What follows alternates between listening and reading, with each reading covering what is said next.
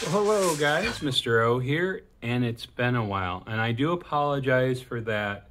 I meant to at least put this video out sooner than I did.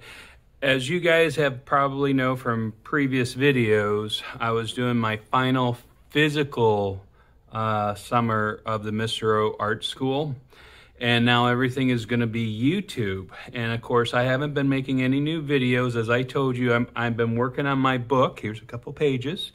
And um, uh, as I'm working on that, it limits the time that I can do actual um, pages um, when it comes down to, uh, you know, being able to communicate and teach you things to draw. But I'm still going to do that. Just be patient. Now, one of the things that I really didn't think about and I've neglected is some of you um, really appreciate that message at the end. If you feel like you need a shout out, please comment on any of the videos. I do check it uh, at least once a week, uh, or at least once every two weeks, just to see if I got any notifications. And um, I should do it like sand. This is how you make sand.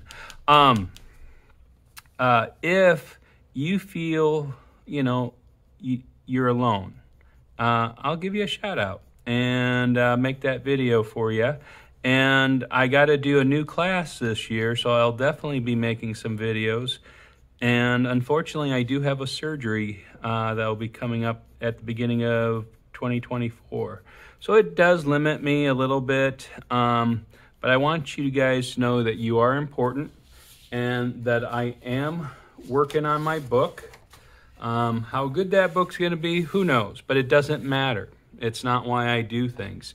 And as you guys probably, um, or maybe you don't know, um, because I do have many former students who lose the the drive for art, and instead of being patient with themselves, they give away all their art supplies, and a couple years later, they get back into it uh, with a stronger uh, desire and force, and everything clicks sometimes it's it is good to step away from the things you love um, and just you know get a better perspective. So never be afraid of that. And um, uh, but more importantly guys you are loved. You are not alone and i gotta always put the not because anyone who saw that other one. And guys, just know that I appreciate you. You need a shout out, comment, uh, give me your your name first, last, or whatever you want to call me. Uh, I'll, I'll, do my best on pronouncing it correctly.